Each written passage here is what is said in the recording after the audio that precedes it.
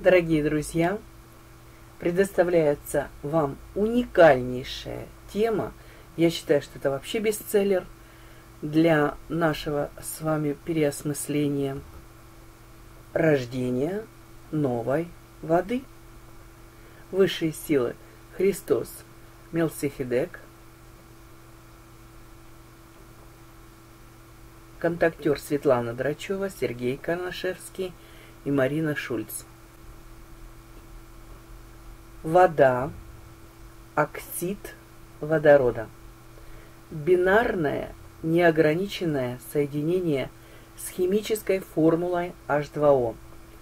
Молекула воды состоит из двух атомов водорода и одного кислорода, которые соединены между собой ковалентной связью.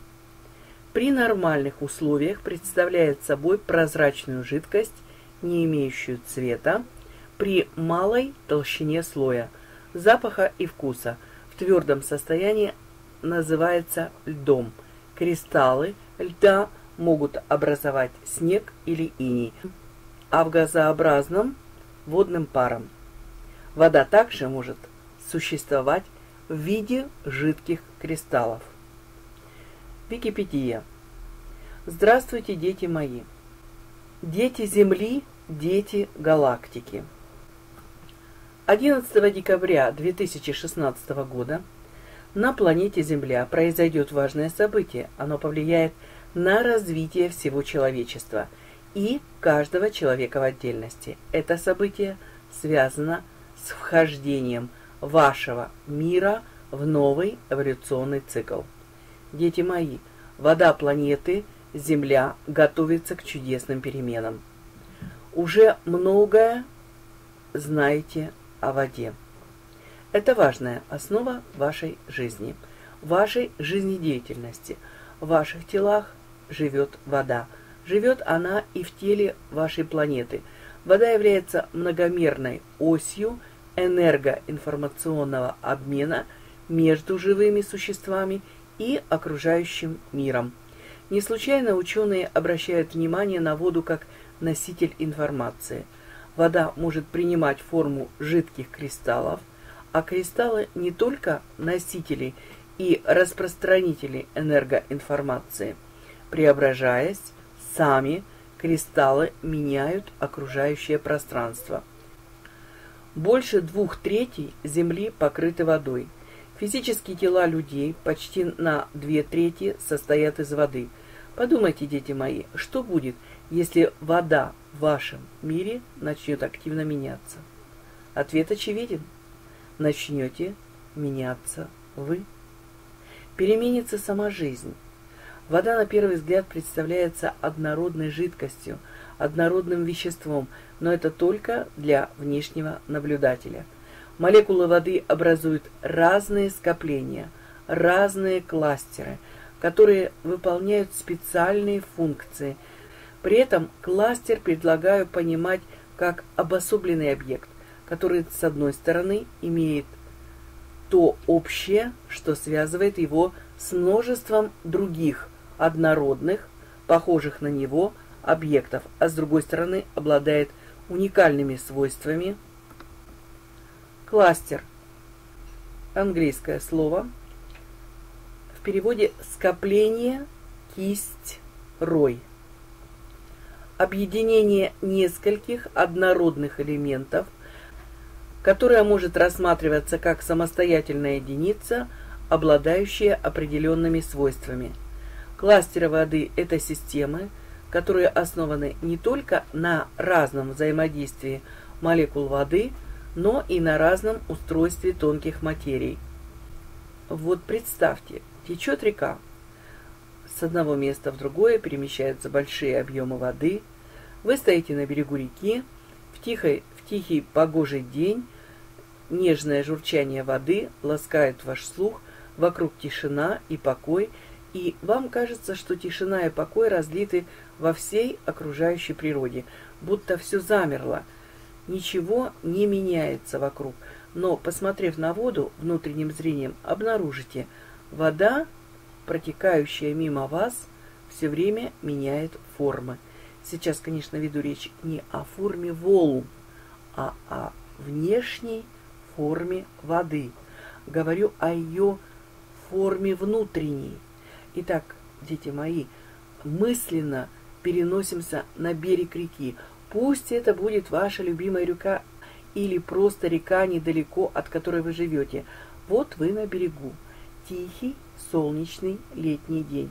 Журчание воды. Вы наблюдаете воду, просто наблюдаете. А я помогу увидеть то, что не замечали ранее. Вот в потоке воды появляются светло-фиолетовые сферы. Они переносятся рекой, проплывают мимо вас. Едва их замечаете, фиолетовый цвет становится ярче. Сферы словно сигналят вам фиолетовыми вспышками, и это означает, водные фиолетовые сферы радуются, что вы заметили их. Они приветствуют вас, устанавливая с вами контакт. Поприветствуйте их, отправьте им энергии любви и наблюдайте дальше.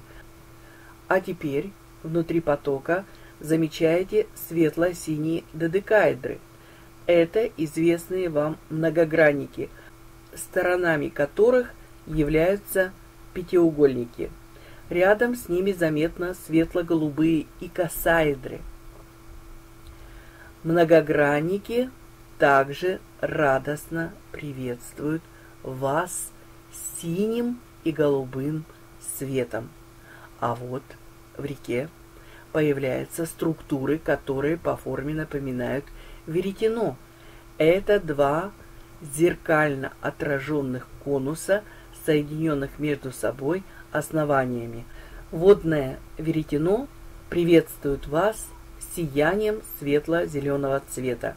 Рядом с веретеном вы видите, что это. Смотрите внимательно. Это тоже два конуса, только по форме выстроенные как песочные часы. Конусы соединены между собой вершинами. И это песочные часы. Приветствуют вас светло-желтым светом. Следом за конусами в воде замечаете торы. Они объединены в системы из трех торов. Торовые системы приветствуют вас оранжевым светом. Тут же в потоке воды сможете заметить структуру, чья форма напоминает цветок тюльпана. У этого тюльпана семь розовых лепестков. Они то раскрываются, то вновь собираются в единое целое, как медуза. Водный цветок также радуется, что вы обнаружили его, отправляет вам энергии радости. Радость из вашего сердца изливается навстречу. Итак, мы обнаружили с вами в потоке воды семь структур, которые являются основами для семи энергоинформационных водных кластеров. Каждый энергоинформационный водный кластер – это скопление водных молекул, которые по-особенному организованы и выполняют специальные функции – но речь сейчас не о физических молекулах воды, а о молекулах воды, которые проявлены на уровне эфирной материи. То есть о водных эфирных молекулах. Поэтому своим внутренним зрением вы обнаружили не кластеры воды обычной, состоящей из физической материи, перед вашим внутренним взором предстали кластеры эфирной воды вашего мира. Эфирная материя подобна вершине горы, к которой устремляются разными путями все остальные виды материи вашего мира. Эфир обладает свойством концентрировать и передавать по разным каналам все другие основные виды материи – физическую, ментальную, астральную, психическую, темпоральную, огненную. Такими способностями обладают и эфирные молекулы воды. образующие эфирную воду. Более того, эфирная вода обладает особыми свойствами для объединения энергоинформации разных видов материи и для распространения ее в вашем мире. Такая энергоинформация необходима всему живому в вашем мире, каждому существу и всей планете в целом. Ваши ученые предполагают, что информационная структура воды повторяет информационную структуру вакуума, в котором информация может передаваться от объекта к объекту очень быстро, благодаря некой таинственной внутренней связи. А если согласиться с тем, что вакуум имеет внутреннюю структуру, схожую со структурой воды, тогда роль воды в распространении энергоинформации трудно переоценить. То, что ученые называют вакуумом, на самом деле является сложным объемом пространства-времени, который пронизан эфирной материей. И эту эфирную материю действительно можно сравнить с энергоинформационным полем воды. А действие этого поля основано на жизнедеятельности темы, тех самых кластеров скоплений эфирных водных молекул. Давайте познакомимся с каждым из семи кластеров водного эфира. Первой мы увидели в потоке воды фиолетовую сферу. Это основа для первого энергоинформационного кластера, который назовем модулем эфирного кислорода. Модуль для нас в данном случае это фрагмент, часть общей программы, которую несет эфирная вода. Что такое кислород? В природе это вещество, газ, которым вы дышите.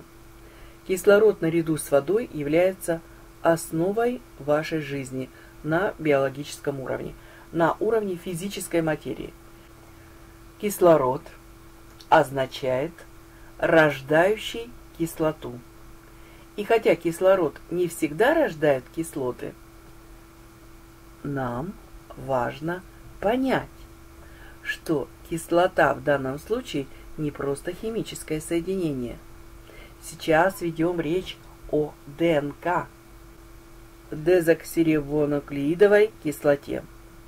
Кислород на тонком плане несет программы для ДНК человека и других существ. И в этом смысле он действительно рождает важные программы для дезоксирибонуклеидовой кислоты, для генетики. Следует понимать, эфирный кислород программирует физическую, биологическую ДНК. Но это происходит на разных уровнях, через разные виды материи. С помощью эфирного кислорода осуществляется очень сложный процесс, который будет изучен наукой вашего мира в будущем. Итак, первый кластер эфирной воды – это модуль эфирного кислорода – который программирует ДНК живых существ. Эфирная вода передает свои программы воде физической, а та, в свою очередь, передает программы для ДНК. Модуль эфирного кислорода мы обозначили как сферу, шар фиолетового цвета. Второй кластер мы увидели как додекаэдр светло-синего цвета. Его назовем модулем полимерного эфира. Полимерность – это то, что объединяет разные миры и измерения. Данный модуль принимает энергоинформацию из пятого измерения. От эфира пятого измерения специальные энергоинформационные потоки приходят в водный мир четвертого измерения – а потом становится достоянием воды, как вещества вашего четырехмерного мира. Модуль полимерного эфира воздействует не на ДНК человека, не непосредственно на его биологическую генетику, а на ту генетику, которую можно назвать тонкоматериальной, полевой, физической генетикой.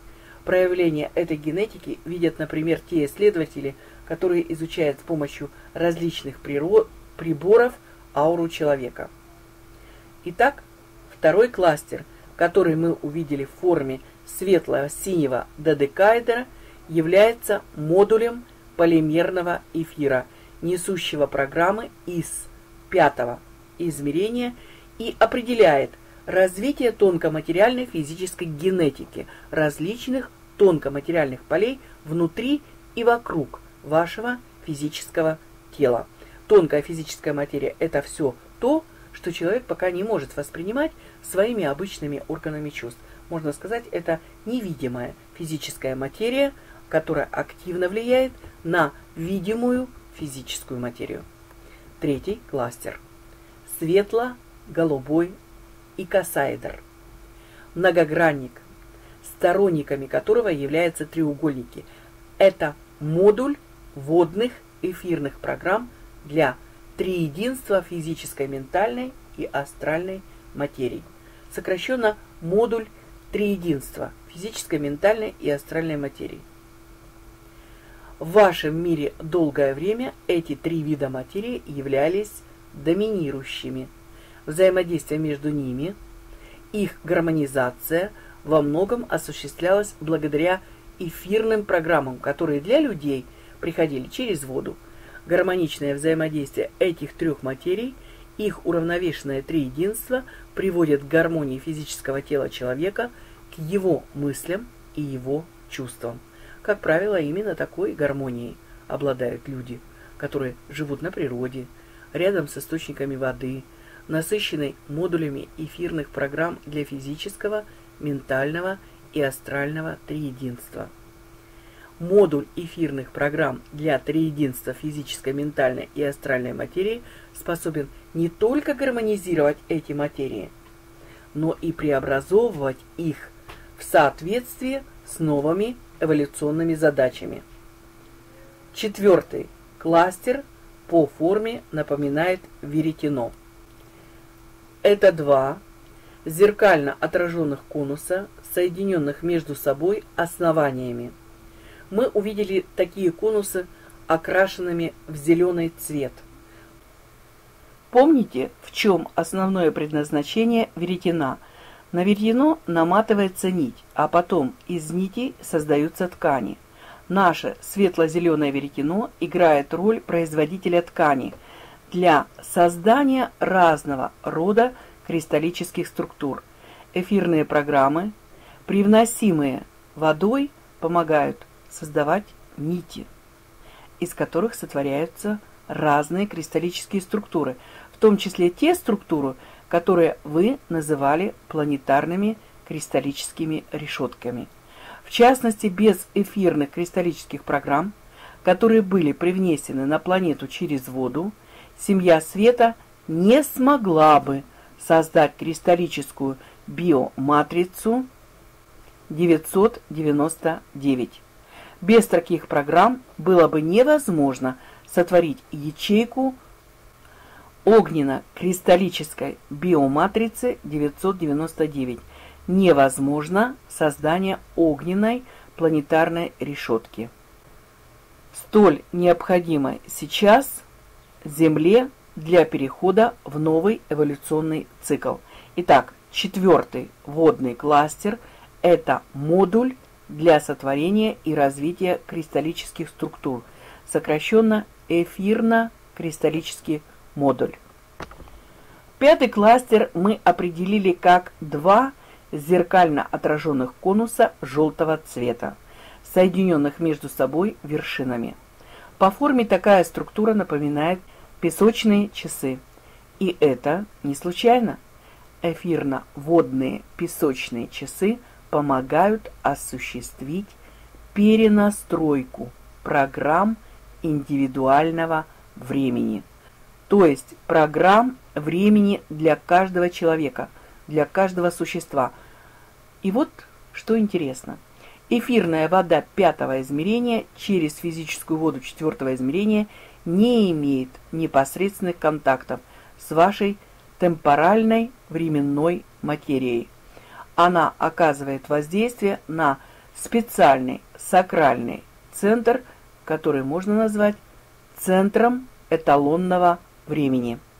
Такой центр есть, как у самой планеты, так и у каждого живого существа, живущего на ней.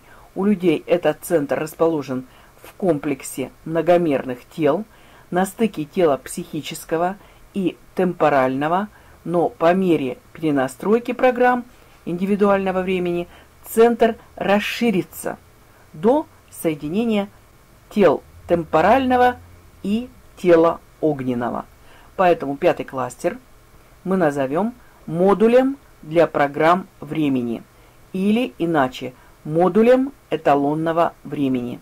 Сейчас этот модуль несет программы настройки на обновленное время нового эволюционного цикла, который станет со временем обладать всеми 13 свойствами времени, включая и его божественную целостность, которой время четырехмерности было до сих пор лишено.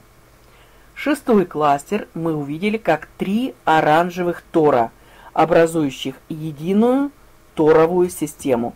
С помощью данного модуля эфирная вода несет программы для единства трех материй, которые призваны активно развиваться в новом эволюционном цикле.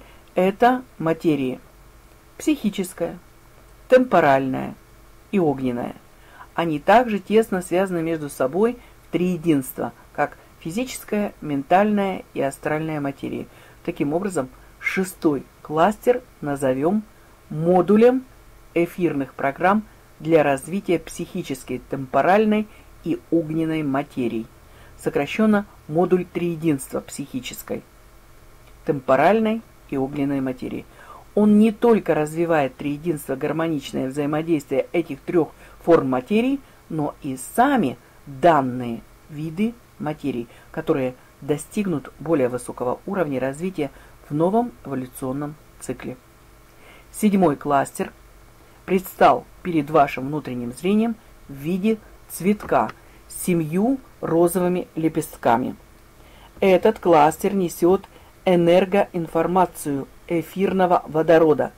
Как вы знаете, вместе с кислородом водород образует воду – а помните, на что влияет эфирный кислород? На ДНК, на вашу физическую генетику. А как полагаете, на что? Тогда влияет эфирный водород. Он влияет на те слои ДНК, которые не являются физическими, биологическими составляющими. В вашей генетике, безусловно, есть духовная составляющая.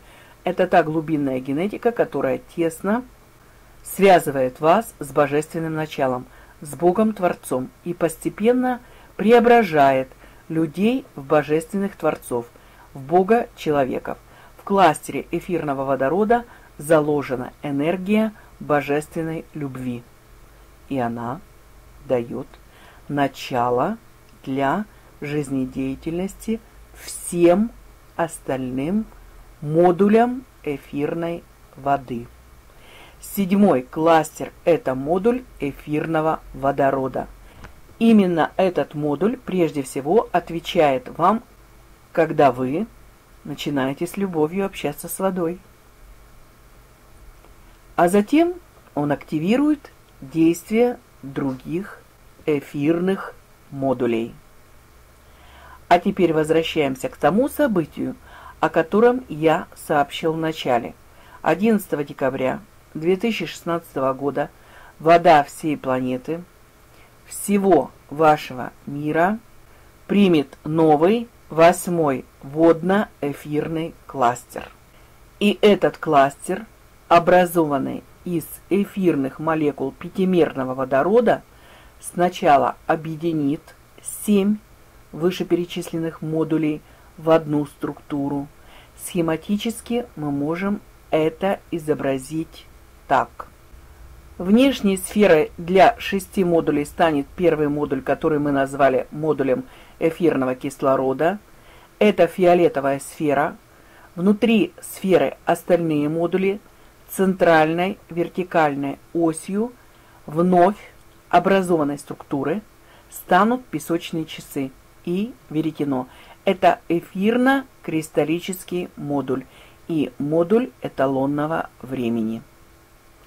Они начнут задавать энергоинформационный тон в работе эфирной воды. Эфирно-кристаллический модуль станет активно вырабатывать новые энергоинформационные структуры для воды, начнет теснее взаимодействовать с водой, которая все еще сможет принимать форму жидких кристаллов. Жидкие кристаллы – это фазовое состояние воды, когда она, оставаясь собственно водой при определенных обстоятельствах, одновременно является и кристаллом. Молекулы воды меняются, обретая новые свойства – при этом важно понять, что именно кристаллы обладают наибольшей способностью принимать и распространять энергоинформацию.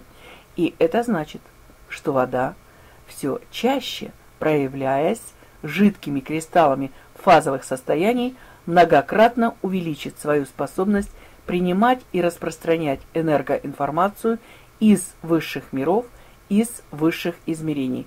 При этом она сама будет получать новые качества, которыми не обладала ранее. Модуль эталонного времени, песочные часы, будет активно взаимодействовать с цветком пространства-времени нового цикла. Благодаря этому эфирная вода сможет влиять на формирование всех видов материи – физической, ментальной, астральной, психической, темпоральной, огненной, эфирной. Внутри песочных часов три модуля для развития психической, темпоральной и огненной материи, системы из трех торов. Все эти виды материи будут сонастраиваться с эталонным временем, получая энергоинформацию от цветка пространства времени – нового эволюционного цикла. При этом каждый из них, из этих трех модулей, специализируется преимущественно на развитии одного из трех перечисленных выше видов материи. С эталонным временем также активно будут сотрудничать и два модуля эфирного водорода в песочных часах. Один из них на схеме нижний рисунок, второй направлен на активное сотворчество с темпоральной материей, а другой на схеме, верхний, на сотворчество с психической и огненной материями.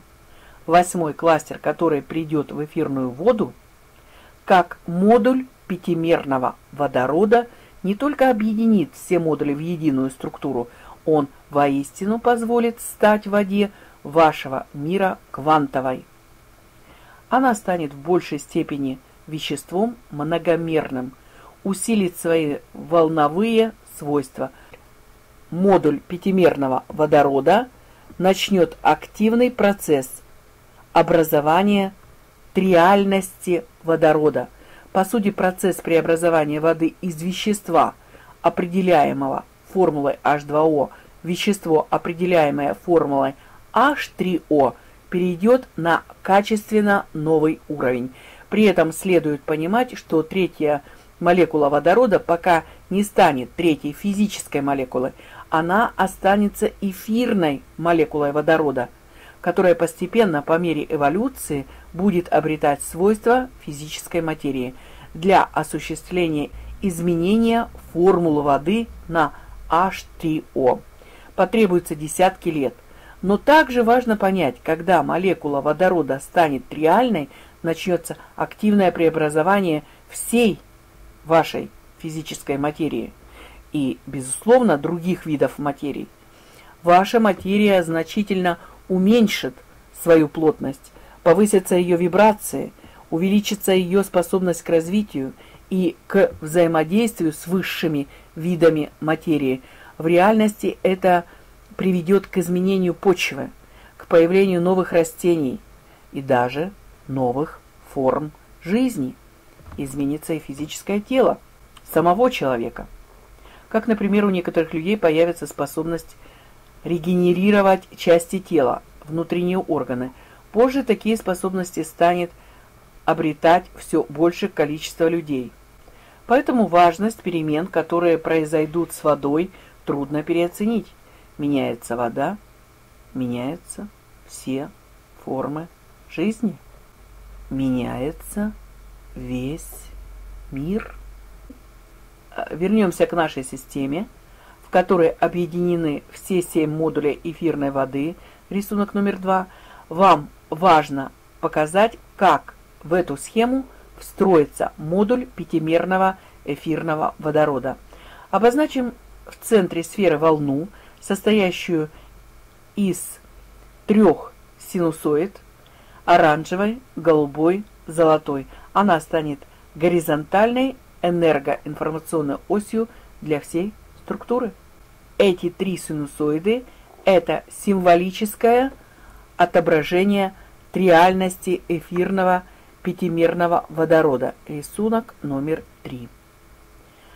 Обращая внимание, когда мы говорим о пятимерном эфирном водороде, спешащем ваш мир, это не значит, что именно пятимерная эфирная молекула сольется с четырехмерным водородом. Это невозможно. Но модуль станет передавать энергоинформационные импульсы с помощью специальных волн. Эти импульсы, несущие специальную энергоинформацию пятого измерения, начнут создавать особую третью молекулу водорода, связанную с кислородом новой связью. Начнется активный процесс образования триальности водорода. Новая молекула водорода будет отличаться от старой молекулы водорода. В свое время это обнаружат ученые вашего мира, и это станет одним из важных научных достижений науки будущего. 11 декабря 2016 года всей воде вашего мира будет отправлен мощный световой импульс. Семья света передаст наиважнейший энергоинформационный пакет в мировые океаны, в реки, озера всех континентов, в подземные водные резервуары. Процессы, которые мы запустим в этом месяце, начнут активно развиваться в течение всего следующего 2017 года – от имени семьи Света предлагаю объявить для вас, активных сотрудников Света, читателей световых сайтов, журнала «Мировой челленинг», духовные сообщения, участников проекта Вознесения, следующий 2017 год, годом рождения новой воды. В течение этого года мы еще не раз уделим внимание развитию процессов, связанных с сотворением планетарной воды – для нового эволюционного цикла. Итак, 2017 год – год рождения новой воды. Галактический Христос Мельцихедек, одухотворяющий галактику Млечный Путь –